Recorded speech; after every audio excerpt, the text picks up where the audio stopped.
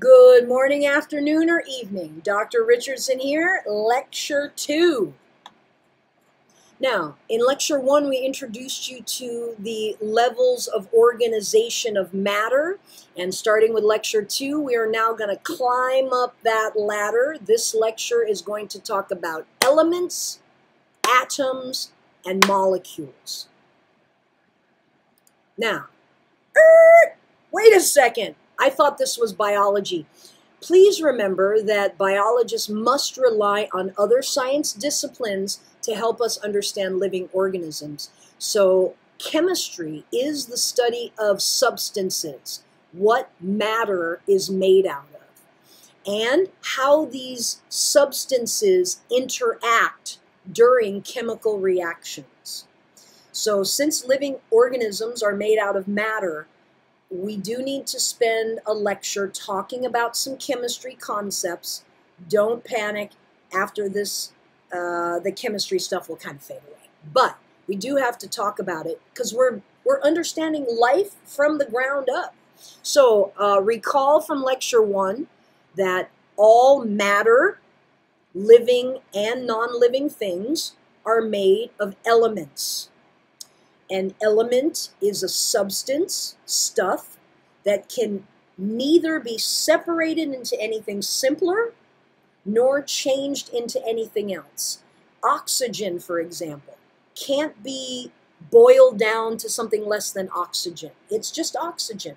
Nor can it change from oxygen to nitrogen. Oxygen is oxygen. So that's the definition of an element. You can't break it down into anything simpler and you can't change it into anything else. Now, there are 98 elements that occur naturally in this world. And believe it or not, scientists have actually been able to create 20 more in the laboratory. Now, I know that most of you, if not all of you, have seen this before. This is called the periodic table of the elements.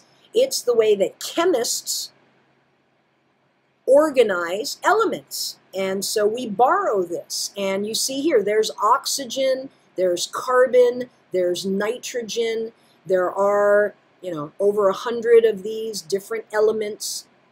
As biologists, we focus a lot on uh, the stuff that's in gray, hydrogen, carbon, nitrogen, oxygen. This is phosphorus, silicone. And so a lot of living things are, are made out of the stuff in gray.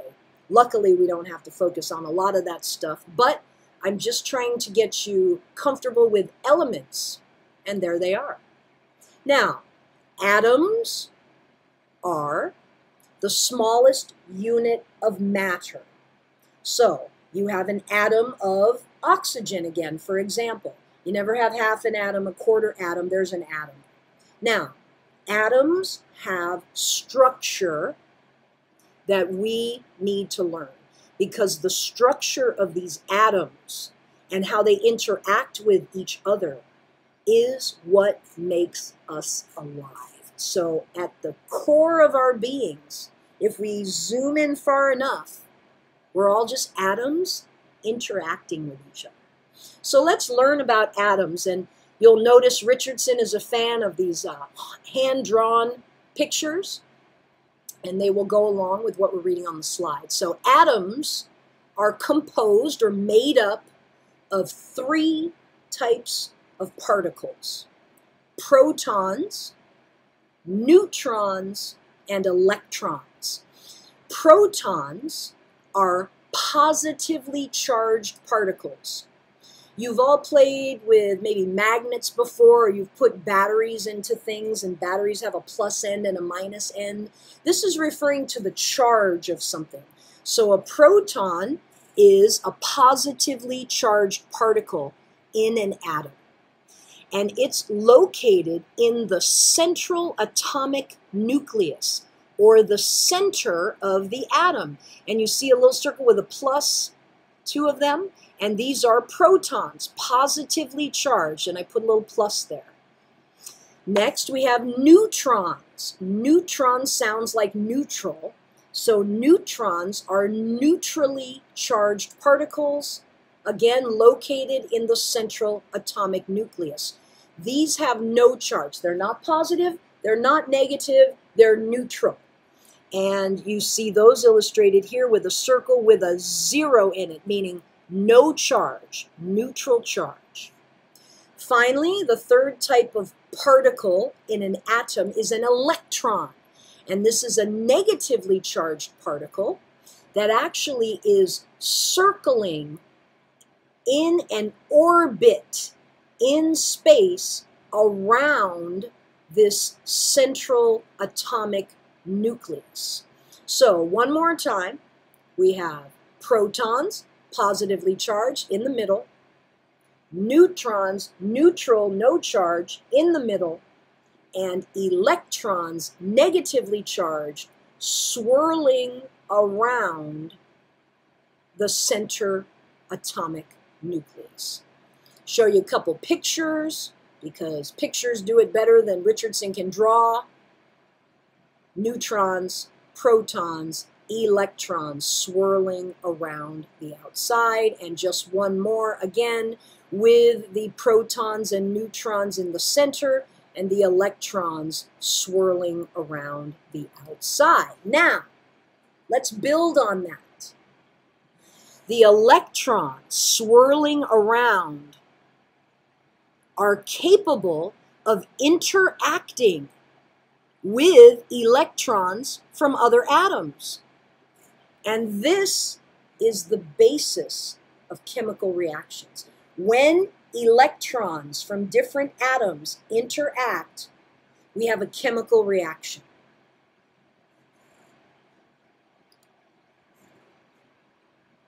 Now, this picture is showing in pictures what happens when the electrons of atoms interact. Here we have two hydrogen molecules. And they come with these two little balls here. And here we have a molecule of oxygen. And what you see over here is these two red balls have broken apart. These four gray balls have broken apart. And now we have two of the gray balls connected with a red ball. Two of them. And what we've just done is we've made water. Water is H2O, two H's and an O. That is a molecule of water. And so is this. But how we got there, how did we get there? Well, here are two hydrogen atoms and their electrons are playing with each other. Same here. Here's two molecules of, two atoms of oxygen and they're playing with each other. But what happens is they've disconnected from each other and reconnected in different ways. And that's a chemical reaction. Atoms interacting and making new things. Now, when you see a chemical reaction like this, we need to let you know that everything on the left side are the reactants, the stuff that's going to interact in the chemical reaction. And on the right side are the products, what we make. So we took two hydrogens and an oxygen, and we made two H2Os. Very simple. One more time, just to show you, in a chemical reaction, on the left side, reactants. Don't worry about memorizing the reaction. I just want you to appreciate reactants, what's going to play together and products. What's the result? And a chemical reaction like this must always be balanced. You see four red circles here, still have four here. You see four green ones here, still have four green ones here, one yellow, one yellow. So these chemical reactions, reactants, products, always balanced. They're going to move around and do different things, but always balanced. Now, let's talk about atomic number for a second. Every element has an atomic number. And the atomic number is the number of protons in the nucleus of the atoms of that element. And these atomic numbers are listed for each element on the periodic table. that we saw a little earlier. Uh, now, there are usually, for our purposes, let's make it easy, the same number of protons, neutrons, and electrons in each element and each atom. What do you mean by that? We'll get to it. So for example, here is the card of for carbon from the periodic table. And right here is listed the atomic number.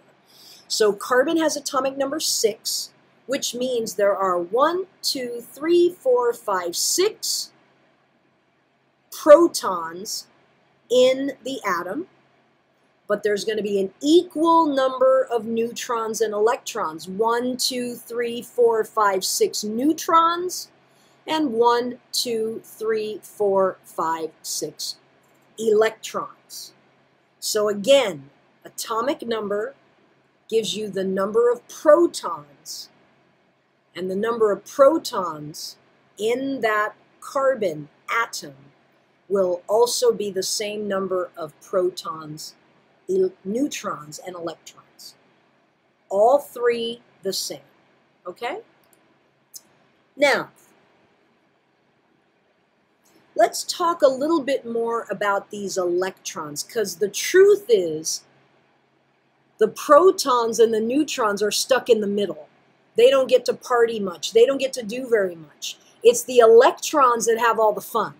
And as we said, the electrons are circling around the protons and neutrons, and they travel kind of like on, think of them as freeways, but they're in these shells, electron shells.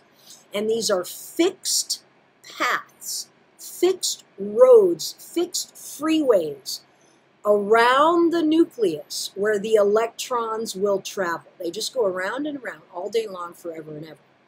Now, you see it on a piece of paper, uh, which is only two-dimensional, but these electrons can actually be three-dimensional, and they're swirling in all directions around the nucleus. Three-dimensional pathways around the nucleus.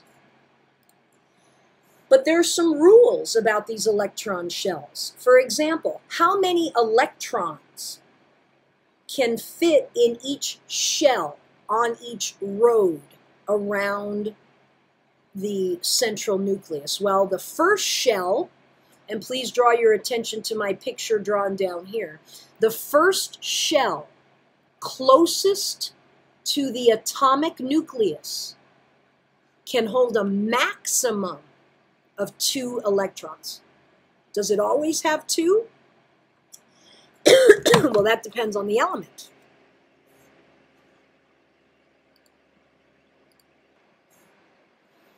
If the element is an atomic number one and it only has one electron, then there's only going to be one electron traveling on this road. If the element has atomic number two, then there will be two electrons traveling on that road. What if the atomic number is three? If only two electrons can travel on this first road, then the third electron will have to go to the second road, the second electron shell. And this shell can hold a maximum of eight electrons. But what if the atom has an atomic number of 11?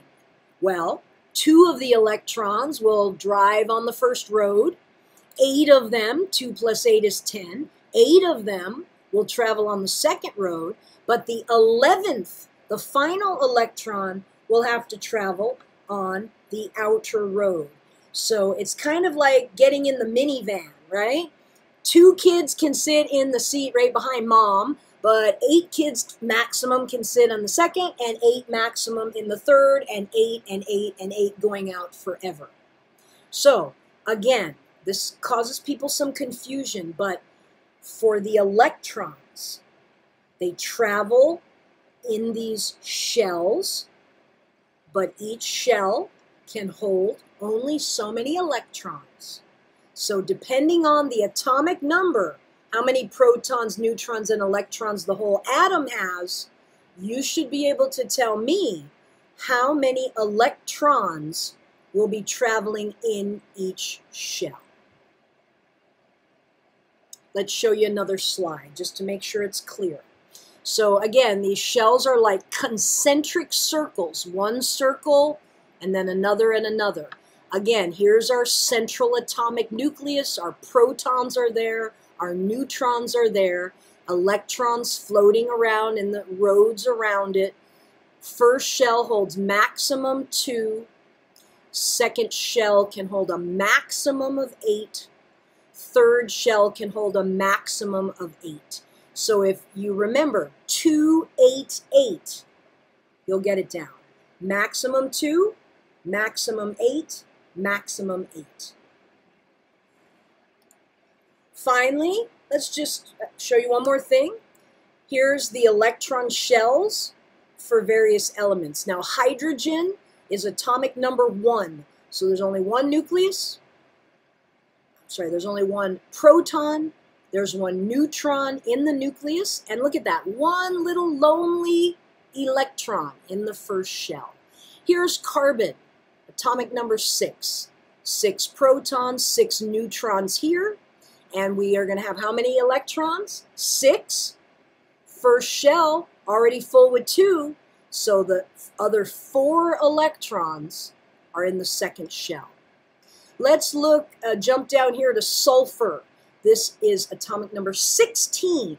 So remember, 288, there's going to be two electrons in the first shell, eight in the second. We're now at 10. So we have six electrons in the outermost shell. Please go over this again if it's not clear. It should be very easy for you if I give you the atomic number for you to tell me how many electrons will be placed in each shell. All right? We never go out past three shells. Two, eight, eight. If you want more shells, take a chemistry class. All right. Now, we're building on this now because now we're going to go to something a bit more complex. Atoms can be either reactive or inert.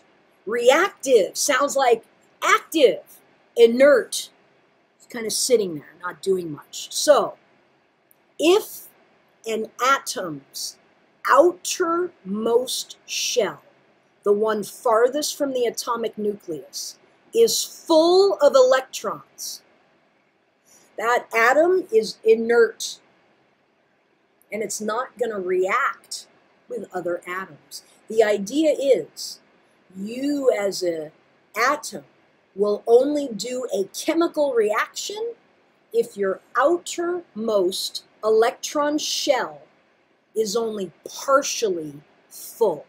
If there's still room in your outermost shell for more electrons, you're ready to party, you're ready to do a chemical reaction, you're ready to form a bond with another atom. And atoms that have an outermost shell that's only partially full are called reactive because they want to react and do chemical reactions. Now, how do these reactions happen? We're going to talk about a couple different two types of reactions. But one way that atoms interact and form bonds is when one atom takes an electron from another atom. Another way is when an electron gives an electron away. And a third type is when two atoms share an electron. We're going to get into it with some pictures to make sure that's clear. But one more time, if the atom's outermost shell is full, that atom is inert and it will not do chemical reactions. Atoms will only do chemical reactions if their outermost electron shell is only partially full. Let's go back to this slide for a second. Now remember, 288, right? So if hydrogen is atomic number 1, and the first shell can hold a maximum of two electrons. And if hydrogen only has one electron, is hydrogen reactive? Yes.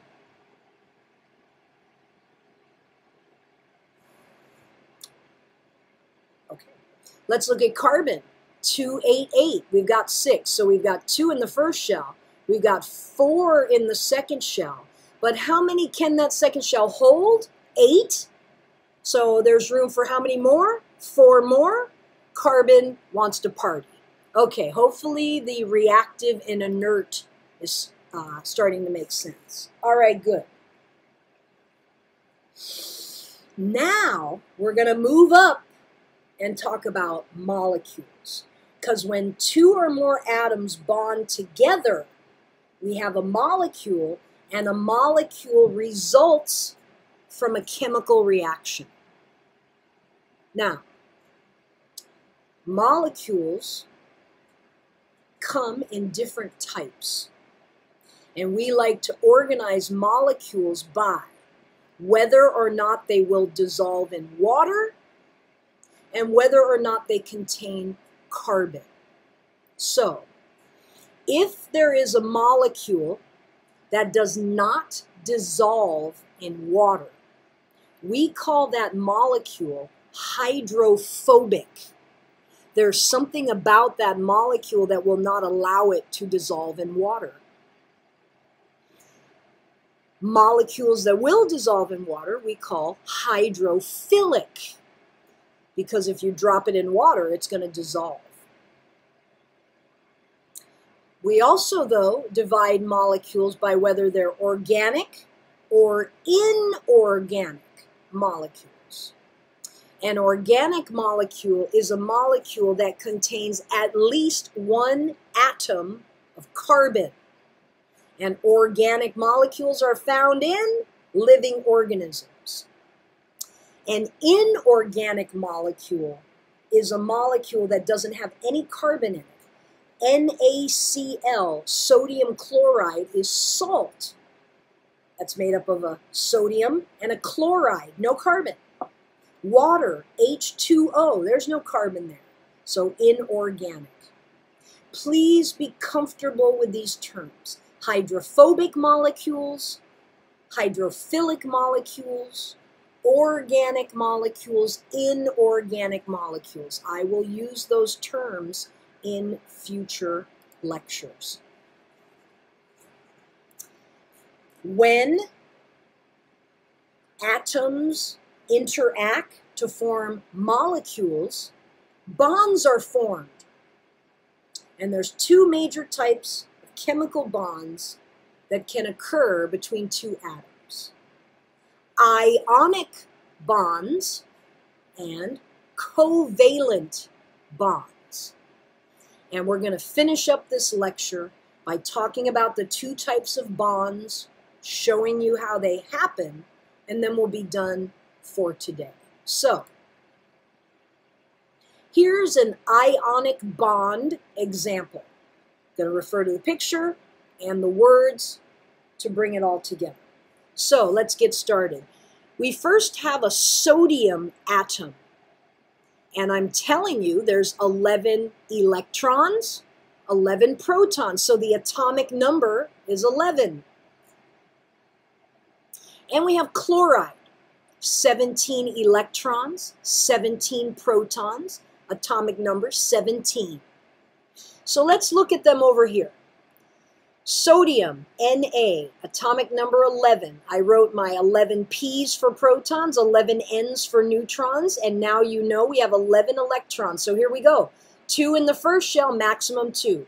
8 in the second shell, maximum 8. And one lonely electron, in the third shell. How many electrons can that shell hold? Eight. There's only one, so it has room for seven. And if you don't like the picture, it's also here. Sodium, two electrons in first shell, eight in the second shell, one electron in the third shell. Now let's look at chloride. Atomic number 17. Very simple if you remember 288, right? So we got 17 protons and neutrons, and first shell 2 electrons hanging out, second shell 8 electrons hanging out, third shell 7. 2 plus 8 plus 7 equals 17. So, again, focusing on the outermost shell, there's seven electrons and there's room for one more. Now, isn't it interesting that there's room for one more here, and in this outer shell, there's one? It's almost perfect, isn't it? So, what happens in this ionic bond is the chloride is going to take this lonely, hey, come on, kid, you can come over here and hang out with us. So the outermost shell will now be full with eight, right?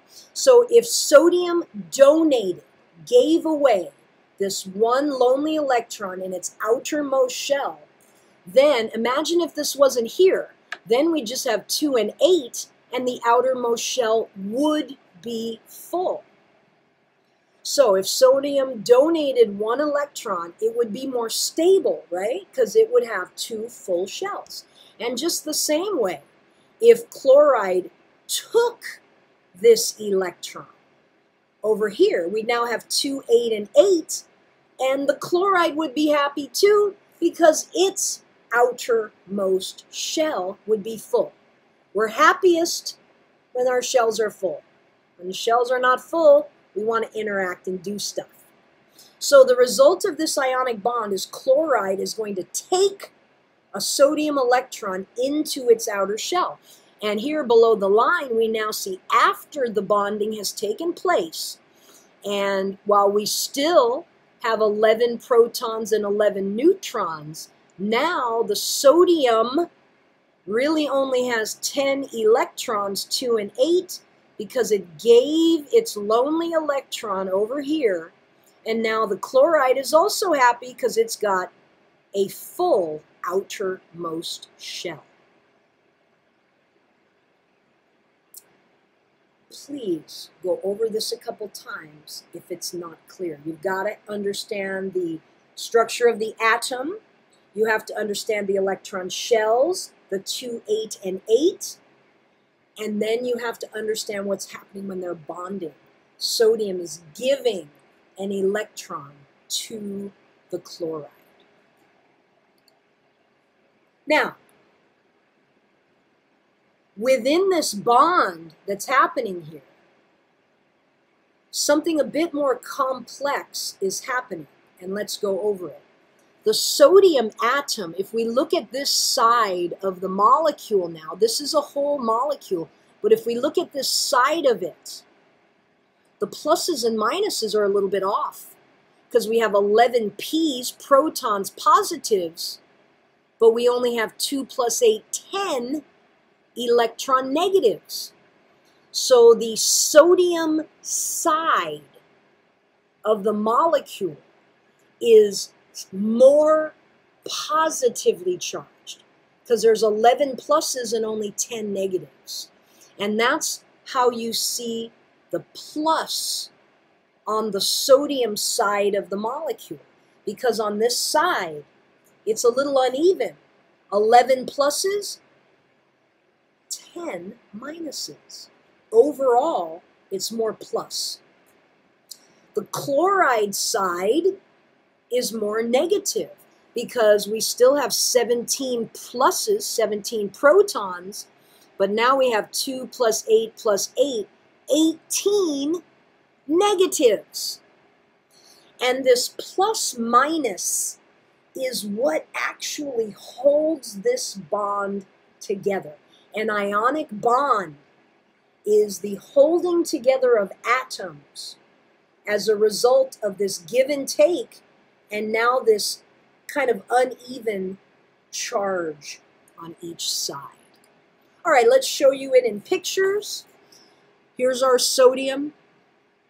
It doesn't show you the 11 pluses and neutrons, but you can see two electrons in the first shell, eight electrons in the second shell, one lonely electron in the third shell. Chloride, two in first shell, eight in second shell, seven with room for one more in the third shell. Ionic bond forms, sodium gives the lonely electron to the chloride, and now, although those two things, you don't see them like stuck together, they are bonded together. And the sodium side has one less electron, and the chloride side has one extra electron, making this side more positive and this side more negative. And there you have your ionic bond. Finally today, we're going to talk about covalent bonds. now, covalent bond results not from giving, taking, but sharing. It's like a potluck. Everybody brings a dish and we all share our food. So let's look at a covalent bond example. All right, what do we got over here?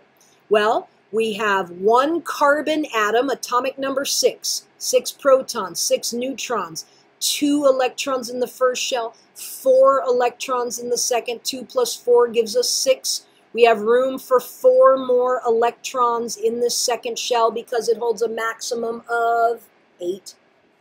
And we've got four hydrogen atoms. Hydrogen is atomic number one with one proton, one neutron, one lonely electron swirling around in the first shell of each of the four hydrogen atoms. So what's going to happen in a covalent bond is each hydrogen will share its electron. And if we share one, two, three, four, what's that going to do to that carbon shell? It's going to be full, right? So here's what the molecule looks like at the end of the chemical reaction. Four electrons from H atoms are shared with the carbon atom. So this second shell of the carbon is now full because it's sharing the four electrons with each of the four hydrogens. In, in, chemistry, they would draw it like this, the C with these four lines bonded to the H's. But what's actually happening is each of these hydrogens is sharing. So the electron will hang out in its own home, but the electron will also hang out in the carbon shell. It might hang out here for a while, then hang out there for a while. So they're sharing it. I'll go on your road, and then I'll go on this road. Then I'll go on your road, then I'll go on this road. And that's the sharing part of it. Here's a picture, might look better than Richardson can draw. This molecule, by the way, is called methane. Cows fart methane, if you didn't know. uh, lots of good trivia in biology. And again, this is showing your carbon it's not showing the first shell with the two. It's illustrating that in the second shell, the carbon had its own four red ones, and it's now sharing the four pink ones from the hydrogen molecules, atoms. All right. I'd like you to pause for a minute and watch this quick YouTube video because it will illustrate and animate how atoms bond. Nice little video. It's only a couple minutes long. And we'll see you when you come back. Pause this video, watch it, and come on back. All right, now, because this is biology, we are going to focus from now on on organic molecules. And organic molecules from a few slides ago, the definition was organic molecules have at least one atom of carbon. So what's the big deal about carbon? Well, the fact that it's atomic number six with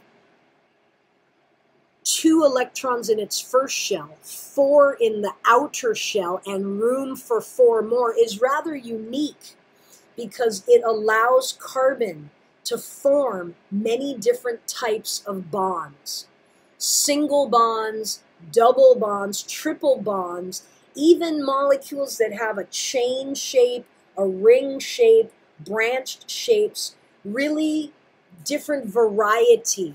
And because carbon can make a lot of different variety of molecules, these molecules are very dynamic, they do a lot of stuff, and they are important for living organisms.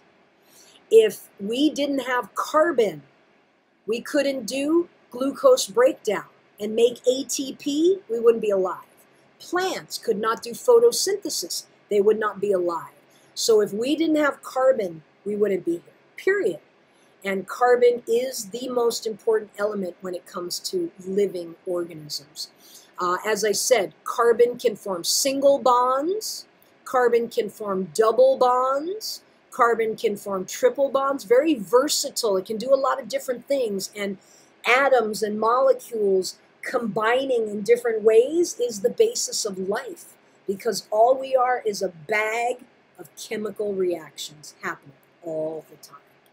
All right, finally, we want to introduce you to the topic of a functional group. A functional group is one or more reactive atoms, atoms that want to party, atoms that want to do chemical reactions, ionic bonds, covalent bonds, that attach to molecules and will help that molecule do specific chemical reactions. And these functional groups, whatever molecule you stick them on, that molecule will then be able to do a specific chemical reaction. Now, if we were biology majors or if we were in a chemistry class, we would need to learn a bunch of functional groups. There's nearly 200 of them. I'm not concerned with you knowing the names of them, just the concept. When you attach a functional group to a molecule, that molecule can now go and do specific chemical reactions. I would love it if you would watch this little video, which shows you about functional groups and helps you to visualize the concept that if I attach this group of reactive atoms to this organic molecule, then wow, that organic molecule can do some pretty cool and different chemical reactions that will support a living organism in being alive. All right, and finally, yes, this video that you're watching right now is going to be attached here and posted on YouTube. There you have it. Lecture two. See you next time.